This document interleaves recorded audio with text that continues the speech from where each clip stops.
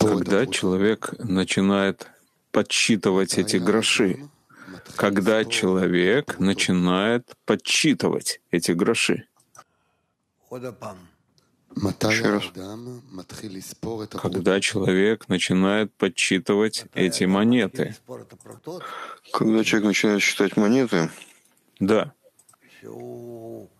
Когда он относится к своей работе серьезно и скрупулезно и понимает, что он должен каждый день продвигаться, и тогда он начинает видеть перед собой этапы.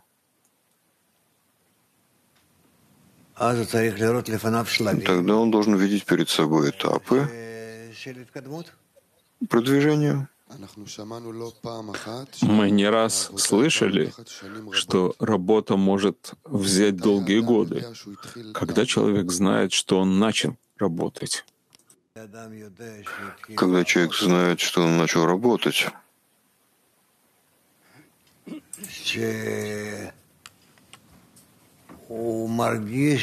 когда он чувствует, что принимает всего Творца.